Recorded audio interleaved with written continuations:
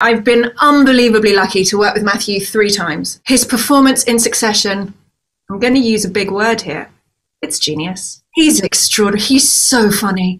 Um, I'm so unbelievably happy for him. He is one of the nicest men in the world, and what a talent. Do you think he's going to take over the company the final oh, season? No, I'm behind. Don't say it. No, I haven't seen it, but no, I mean, like, you know, something's going to happen. I can, and I will.